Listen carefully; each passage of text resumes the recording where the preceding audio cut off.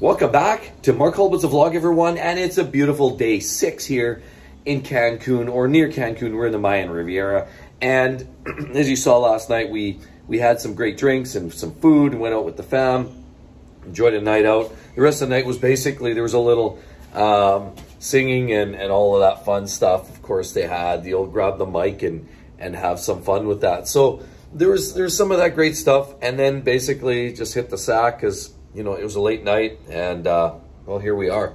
So day six, I just want to talk about something today, not just about, okay, we're going to head down to the pool, which we're about to embark on right now. We're going to head down to the pool, grab some snacks. Um, I noticed it's always like a hustle bustle around there. What we like to do is drop our towels off.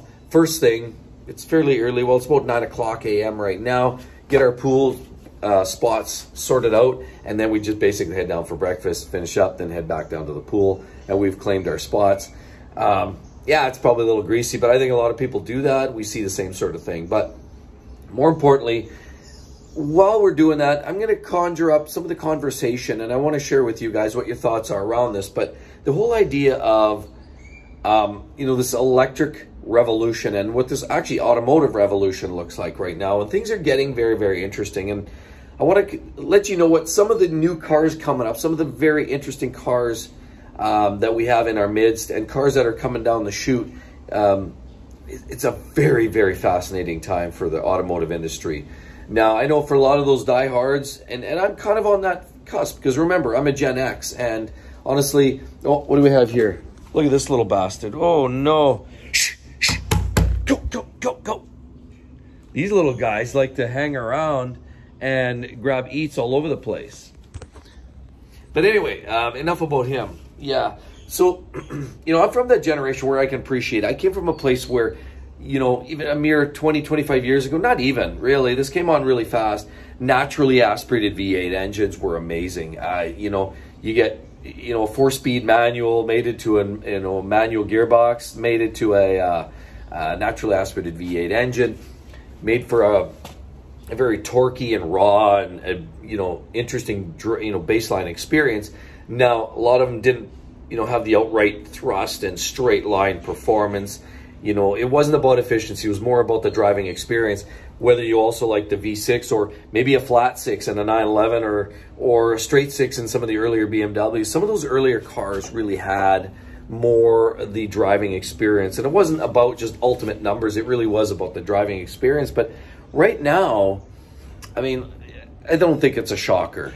A lot of us aren't the biggest fans. From a straight line acceleration perspective, look at the Rimac. Look at some of these vehicles that are just like, they're ridiculous in performance. They pull like there's no tomorrow. But there's still that element that's missing. There's there's single drive, most of them. So you basically just like put it in drive and press the pedal. And now, well, a lot of people love that because that takes, you know, like it simplifies everything.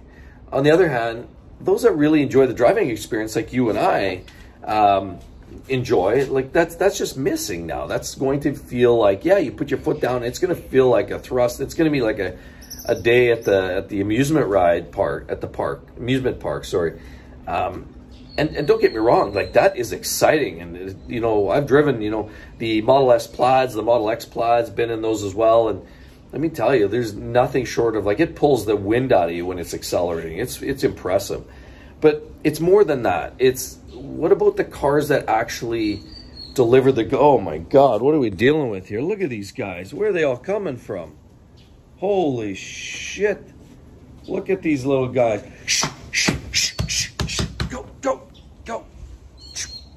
Holy, look at them. Anyway, I don't know where they're all coming from, but uh, it's pretty wild looking here. Let's just see here. Look at this guy climbing the tree. And that little guy right there, look at him. He's just waiting. He wants something to eat. He's waiting for his little buddies to all bugger off. And he's going to come and get some of his own right there. Look at him. But anyway, what it is is I think this is literally the revolution of the automotive industry. I think things are going to be very, very interesting. Why? Well, now some of these car manufacturers are saying, okay, not every Tom, Dick, and Harry wants to drive an electric vehicle like a Tesla, but there are obviously benefits, and some of the benefits are, oh yeah, you, you know, the I, am not even going to touch on that environmental thing because I think that's not personally, I don't think that's truly a, a, justification. It's about as accurate as Pfizer, right? So, but we're not talking about that today. What I think it is, is where electrification can be interesting is from a performance standpoint. So, where you know where you think the Teslas of the world have gone wrong, and have not gone wrong because that's their own agenda and that's their own mandate, but think about take that electrical element and somehow incorporate that into a vehicle that's otherwise ICE that provides the screaming Banshee engine, you know, whether it's a V6, V8, you know, V10, maybe V12, and you know, and then you throw electrification in there to give you torque infill, to give you that boost out of the hole, to give you the better top end thrust, to give you all those other elements, adds to the driving experience. But you haven't lost of the driving experience in the sense of what if it still has a dual clutch transmission? What if it still has that twin turbo howling noises? What if it makes all those great sounds and and still pulls gears and does all those great things, but you haven't given up on those elements because the electric electrification simply just adds the whole experience. I think there's great a, a great opportunity here and it's not as basic as the old school vehicles, but none of them are. I mean, you those older V8s, the older V6s or straight sixes or what have you, they were naturally aspirated. But we've we've moved on. Now everything's moved to turbos and superchargers. We've all gotten used to that. Look at Ferrari. Everybody was just screaming bloody murder when they went to the twin turbo V8 in the 488 from the 458. Some people, you know, literally cherish the 458, but there's no question in my mind that the 488 just literally eclipses the 458 in performance in every aspect. So as, as time goes on, we're getting more used to you know these this additional technology that makes things faster, better, quicker, stronger. Um, but it still has the attributes of a Ferrari and, and the dual clutch gearbox and the looks and the style and all those things. So they really haven't lost, but we've gotten used to that. Okay, now they went from naturally aspirated to to uh, turbos and superchargers, superchargers like the F-Type we have in our cars. That just adds to the driving experience. You get a little additional supercharger whine, you get more power. What's wrong with more power? I love it.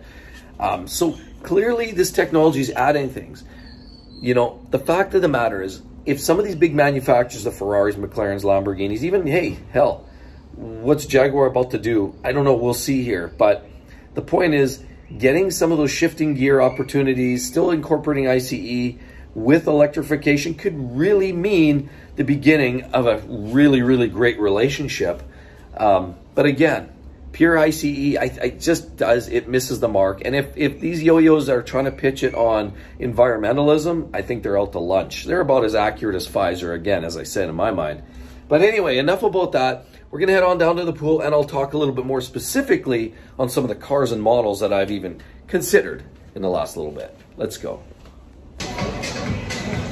So some of the great cars that we're talking about coming up here that are available, are, it's, it's going to be a really interesting time, obviously. Uh, one being the F-Type. We all know that sadly it's been announced pretty much by Jaguar that we're probably going to lose the F-Type in 2024. Likely that's going to be the end of the road for that car. And, you know, for those that still want to get their hands on one, we talked about it in previous video, uh, it's going to be, you know, I, I would say get them while they're hot. It's I mean, there's still quite a few around there on the market.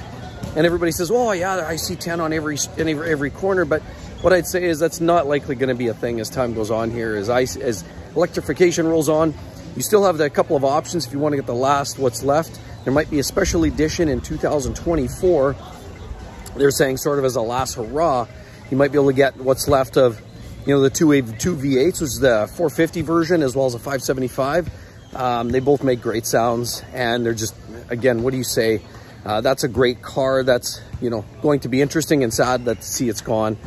Uh, another one, of course, that's always got me kind of tweaked is a couple actually from Aston Martin. Uh, the Vantage, love that car. Other than the fact that it's, um, the, the worst part about the Vantage is that, I mean, we're talking about Mercedes engine now. Some would say, hey, that's great. It gives you the reliability you're looking for. The downside is, um, it's not true British engineering, and that could be good and bad, but I love the Vantage. I love the styling. The rear end of that car looks absolutely impeccable, uh, as well as the DB Ooh, Superleggera. There's another great car. So Aston Martins come at a cost, but they are amazing machines, and I would say that those are two that are definitely worth a look. Now, you know, the other couple of things, Lamborghini, they had the STO. I said, if you wanted the pure race, lightweight, big wing, all plastic parts, and really, you know, the lightest track version of the uh, Huracan, the raciest car you can get is that STO. Now, they're pretty much done. You can't factory order any more of those. It's pretty much a done deal. Um, you might be able to find the odd used one laying around and you'll probably wind up overpaying it drastically, but that may be a collectible at some level. And then, of course, the Tecnica is another great car I looked at. Actually, I was thinking about maybe picking one of those up. I kind of checked out all the numbers on it and thought about, hey, is that one maybe worth worth worth buying? Um, and I would say the Tecnica, if you want a Huracan, there's no better bang for buck value performance attributes. I mean, it is the best car. There's so many upgrades from brake cooling vents to you know, uh, just even the overall, the, the style of the car has been changed drastically. It doesn't maybe look like that at first glance, but the styling along the rears and the, you know, there's so much carbon fiber available too. And it just seems like the best bang for your buck in the Huracan world. So if you need to have a Lamborghini, I would say that's probably, um, you know, that, that's, that was always a good choice. Don't know if you can get many of those around either. They're kind of on the way out. And if you haven't placed your order, you're probably going to miss the boat. Although those were will be available soon on the used market. But I would say you're going to, you're pretty much going to overpay for that, anything on the used market. The next thing I would suggest is the, um, another interesting one, of course, is the McLaren Arturo. Um, you know, as, as we said already, or kind of as I mentioned, you know, electrification is going to be a thing. And McLaren's no different. They've proven what they can do with the P1. Um, and they're going to extend that onto more of a mainstream car, the Arturo, which is absolutely a beautiful car. And that takes a wide angle, 120 degree, three liter, flat, well, not flat six, 120 degree V6 engine. And that combined with the electrification and the dual clutch transmission, that's going to put out about 670 horsepower and is going to be just a really, really fun car to drive. Um, styling to boot, I would say the McLaren is probably going to have, you know, the game covered in terms of the chassis dynamics. Um, they're going to have the best, um, I don't know, you know, McLaren I think does it best. How can you say that? Ferrari and their F1, I mean, they clearly bring all that performance technology F1 with them and Ferrari does it well. McLaren, I still think McLaren's got the chassis thing figured out the best. You know, with the carbon fiber chassis, they've got their latest version of that. They also have um, variable drift control, launch control. That car is going to be amazing. The Arturo, I, I've heard early versions have had some glitches and gremlins, and that's going to be a problem for sure with McLaren's as, as you move on. I think electric issues as a whole are going to be a problem for that British manufacturer but from a manu, but basically from a pure performance standpoint, you won't beat. McLaren is going to give you just an amazing machine. And, you know, zero to 200 is going to come in a blistering 8.3 seconds. They're talking, you know, zero to 60 in about three seconds flat.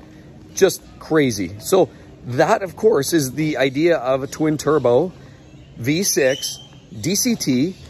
And again, as I say, you can really get an amazing car. It can drive, give you all those driving dynamics, but with torque infill and all that extra boost that you're getting from the electric drivetrain, just going to be a really sensational drive. And honestly, I think this is where McLaren is introducing this car. And I think what we're going to find is this is literally going to be the beginning of what is that whole next uh, space, if you will, for supercars. You know, we're just seeing the beginning. They have to come in somewhere. And I mean, while you can say, oh yeah, Tesla Model S Plaid has a thousand horse. Yeah, that motor will literally pull the Artura along. But what can you say? It's a single drive, you know, put your foot down and it's like, you know, just doing whatever. It's pretty basic, pretty standard.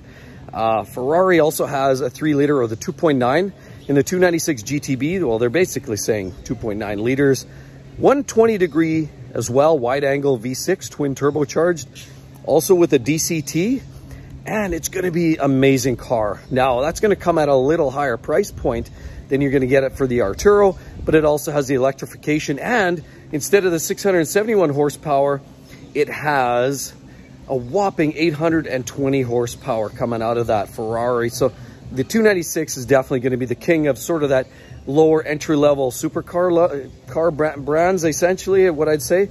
And it's going to destroy, in my mind, pretty much everything that we know today. Um, I think a lot of the initial numbers by Ferrari are a little bit sandbagging. Um, I, I, can only see, you know, those guys that are really just finding a sweet spot, able to get extract even more jam out of that 296. Now, the 296 is all aluminum, and that's, to me, the only thing Ferrari, you know, everything's aluminum, aluminum, and they do that in-house because they have the manufacturer capability and so they continually manufacture their cars aluminum chassis aluminum you know body panels and all so on and so forth. I mean with some extra carbon fiber add-ons but the underlying chassis is not carbon fiber as opposed to the mclarens which truly are in my mind have a better chassis dynamics especially once you start dealing with convertibles and you lose that rigidity on top that's going to be you know obviously an advantage to the mclaren world and as well you can shed weight McLarens typically are going to be lighter, stiffer, stronger in that regard, and they don't need to put down as much power to make out the same level of performance. So those are a couple of great cars. I think, as I mentioned, the Huracan, what we're going to see here as they're sort of running the end of the gambit here with the, uh, I don't know, with, with this current Huracan, I think it's pretty clear that we're going to be going to electrification. The real question is what does that drivetrain look like in the newest Huracan? The Aventador is going to be, promises to be over a thousand ponies. It's going to be a pretty wild world and hang on for the crazy ride in the uh, Lamborghini world because they're always in it for, you know, the intensity, the noise, the dynamics and all of that. Not necessarily the fastest around the track, but certainly one of the most enjoyable and exciting around the track and certainly the one that you'd like to show up at that crazy party with and you know, rolling in the Lambo. So Lamborghini definitely going to be a great car to look at here in the next couple of years as they further develop and enhance what is guaranteed to be a hybrid hybrid supercar. Then on the sad side of this affair is, is, you know, Dodge comes out with this Challenger, this electric Challenger that has electronic sound exhaust notes.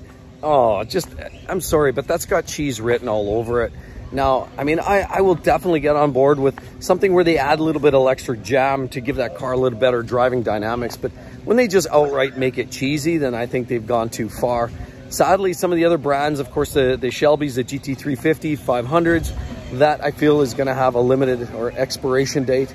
And there's going to be some changes in that front as well. Corvette, it's going to be amazing. As we already know, the C8 and the Z06 is a beast already with about six and a half hundred horse it's going to be definitely something worth, you know, potentially picking up.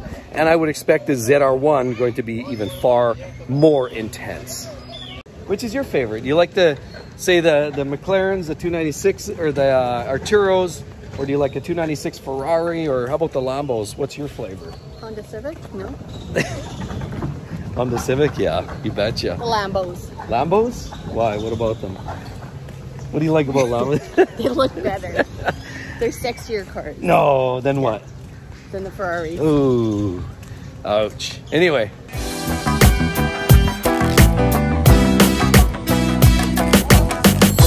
You know over there. Not sure what's happening over there. Uh-oh. Mungy Mungy. Little party over there. Look at these guys. What are they up to? And this guy here is playing the guitar. What are those things? Anybody? Comment section below. Love to hear it.